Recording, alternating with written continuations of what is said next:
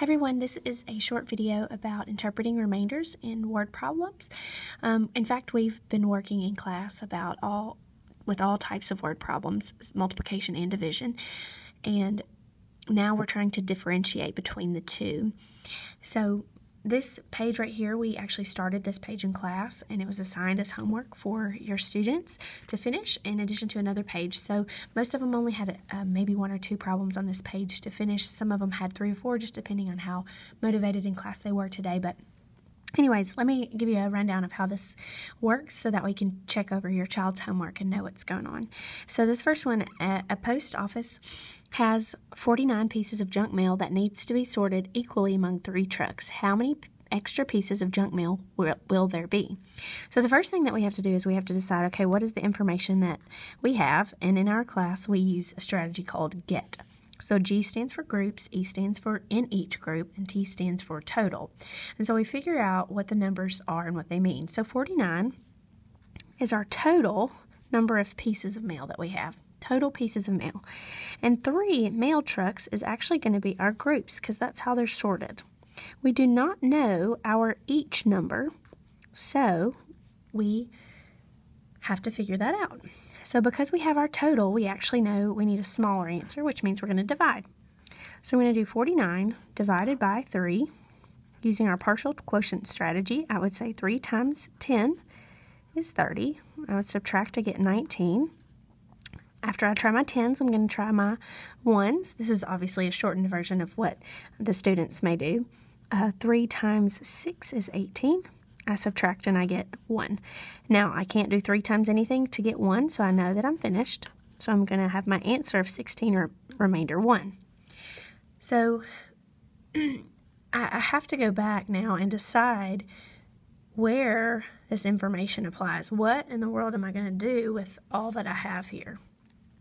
So, how many extra pieces of junk mail will there be? That's my question. Hmm. If I'm thinking about extra pieces, I'm thinking about what's left over. And which number here represents the leftover amount? The 1. So 1 is my answer. And if I think about what the job of the remainder here is, my remainder is actually the answer to my question. It's the answer because the extra is talking about the leftover amount also known as the remainder. so, and the next question on here is actually a question where we would want to do get again. Okay, because we're talking about groups in each um, and total. So the Rat Club has collected 78 packs of toothbrushes. This is not true, but it's true for our problem. Each pack contains six toothbrushes. How many toothbrushes has the Rat Club collected in all? So I know that each pack is six. So my each is six toothbrushes in each pack. So pack is my group. How many packs do I have? I have 78 packs. I do not know my total this time. And so a total would be a larger number, which in this case means I'm going to multiply. So if I use the area model that the students are very familiar with, we've been doing this for weeks and weeks, I would get 420 there and 48 here, I would add them together and my answer would be 468. Now, there are lots of methods for multiplication. I am not making them do this method unless they want to. But we do know how to get the correct answer, and the correct answer is 468. So the job of the remainder, we don't even need to worry about it. We're going to skip this problem, number four, because I want to look at a different one that um, maybe a little bit trickier. So this question right here, number five, says Talik baked 84 muffins with his mom. If each muffin tray held nine muffins, how many trays did Talik and his mom use to bake the muffins? Well, first of all, if I think about get, I would know that my total number of muffins would be 84. My each, if each tray held nine muffins, so nine muffins in each tray. I don't know how many trays I have. So here I'm going to divide because I want my answer to get smaller. So if I do 84 divided by 9, 9 times 9 is 81. I subtract and I get 3. So my answer is 9, remainder 3. 9 trays, I'm sorry, yeah, trays and 3 represents how many muffins I had left over. Well, if I think logically here, okay, I'm, I'm going to make nine full trays with nine in each tray. But I have a little bit of leftover muffin mix, and I have three more muffins that I did bake. So I, in actuality, I would actually have to use another tray for these three muffins. So my answer here, how many trays did they use, is 10.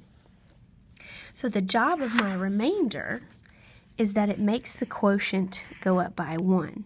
I had 9, but 9 didn't cover everything, so I had to say 9 plus 1 equals 10. So I actually had 10 trays of muffins that's the one that's very much complicated for a lot of students to really understand and really grasp. I'll show you this last one just so you have this information if you want to check your child's homework. A recycling company had 14 pounds of material to sort into boxes. They placed 5 pounds of material in each box. How many full boxes do they have? So, if your child did 14 divided by 5, which is what they should have done here, we would say 5 times 2 is 10, subtracting it 4, so my answer would be 2, remainder 4. Now, if I'm thinking about full boxes, not leftovers, I had two full boxes with four left over. So my remainder here is not needed. I just had two full boxes. Sometimes it helps to see a picture. So if I had a box here, this one would have five pounds in it. This box would have five pounds in it. This box would have four pounds in it. So while I did use three boxes, I only had two that were completely full. So hopefully this helps a little bit with interpreting remainders and understanding this whole job of the remainder.